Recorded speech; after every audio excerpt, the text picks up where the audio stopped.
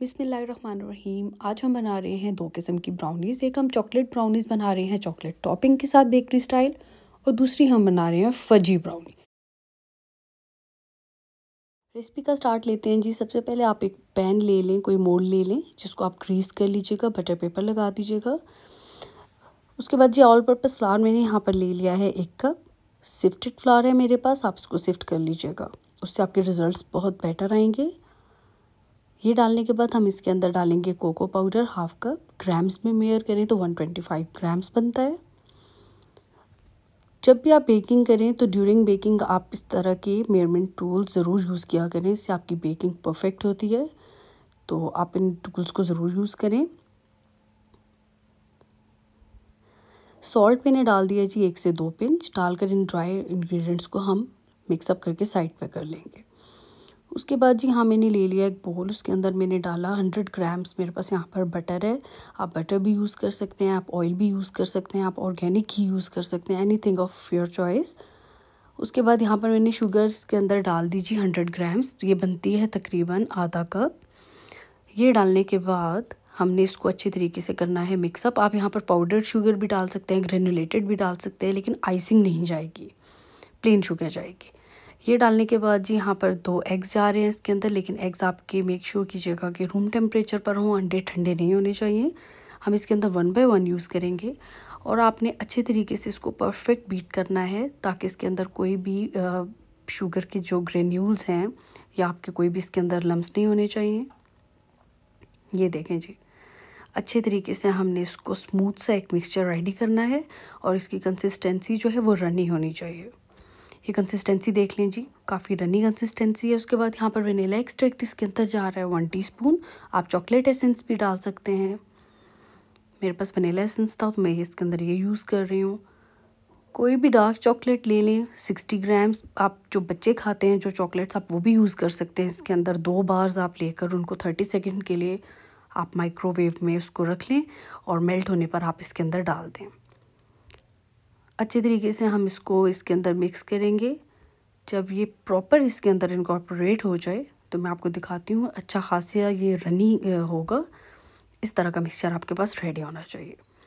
उसके बाद जी इसके अंदर मैं डाल रही हूँ अब ड्राई इंग्रेडिएंट जो हमने स्टार्ट में मिक्स करके रखे थे ऑल पर्पज़ फ्लावर और कोको पाउडर वो अब हम इसके अंदर ग्रेजुअली ऐड करेंगे।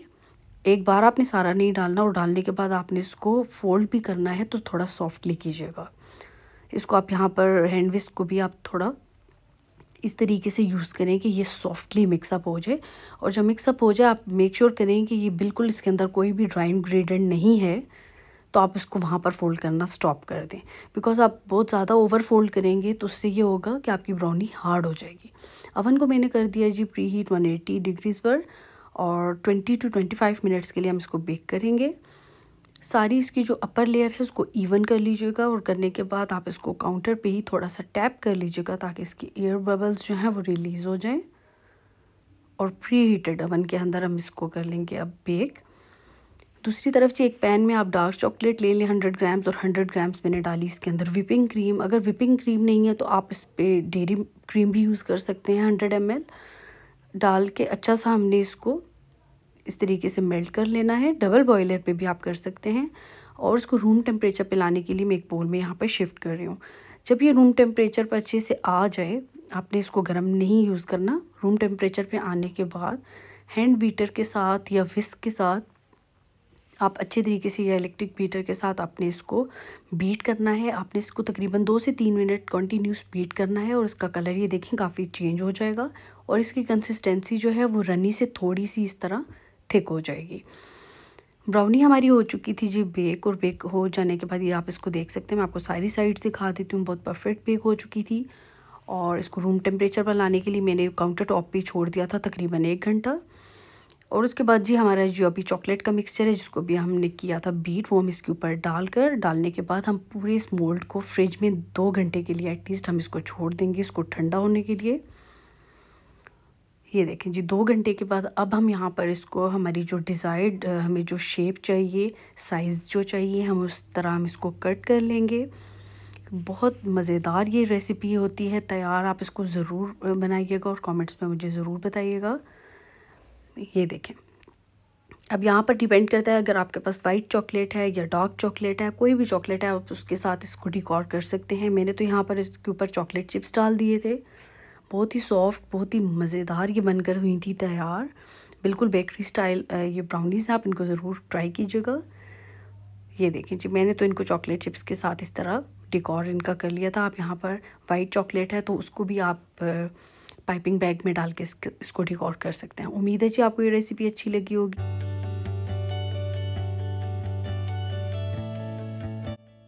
सेकेंड रेसिपी की तरफ़ आ जाते हैं तो चॉकलेट चिप्स लेंगे। हम वन कप आपके पास चॉकलेट है तो आप वो भी ले सकते हैं डार्क चॉकलेट उसके अंदर जी मैंने हाफ़ कप यहाँ डाल दिया है। ऑर्गेनिक घी, आपके पास बटर है मेल्टेड आप वो भी डाल सकते हैं। उसको अच्छी तरीके से हम मेल्ट करेंगे। लम्स नहीं होने चाहिए। हाफ़ कप हम डाल लेंगे वाइट शुगर और हाफ़ कप यहाँ पर हम ब्राउन शुगर अगर आपके पास टोटली ब्राउन शुगर है, आप वो भी वन कप डाल सकते हैं। तीन एग्स डालेंगे।